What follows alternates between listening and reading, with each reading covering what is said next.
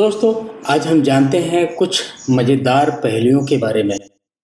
वैसे तो पहले आपने बहुत सारी सुनी होंगी, लेकिन ये मज़ेदार पहेलियाँ नहीं सुनी होंगी। यह ऐसी पहेली है जिनके जवाब शायद आपको पता भी होंगे, लेकिन पता होने के बाद भी आप जब जवाब नहीं दे पाते हैं तो काफ़ी अच्छा लगता है। आइए चलते हैं पहेलियों की तरह।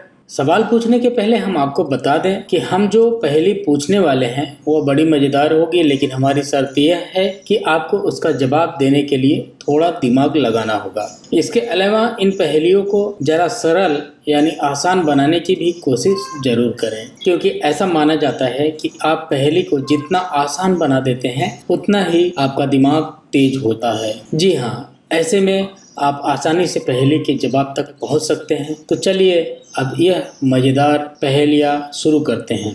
पहली पहेली, तीन अक्षर का मेरा नाम।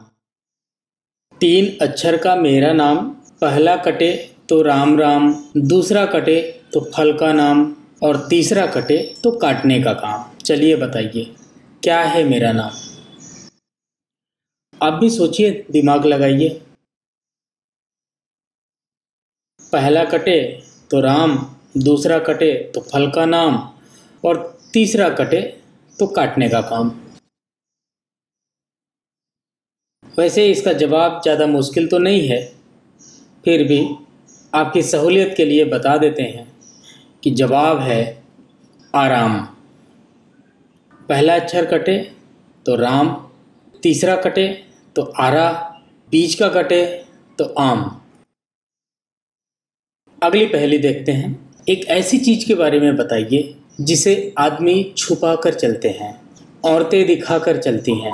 यकीनन, इस पहली के बाद में आपके दिमाग में कई जवाब आए होंगे।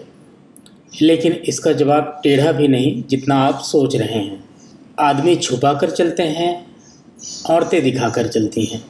बताइए, सोचिए आप। वैसे मैं बताता हूँ, इसका जवाब है पर्स। आइए चलते हैं तीसरी पहेली की तरफ़।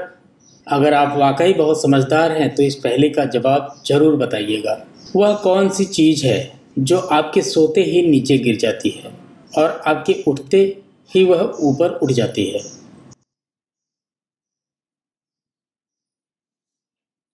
सोचिए, कमेंट बॉक्स में भी कमेंट करके हमें बताइएगा।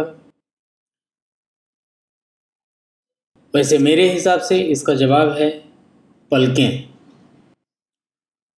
सोते समय नीचे गिर जाती हैं और उठते समय उठ जाती हैं।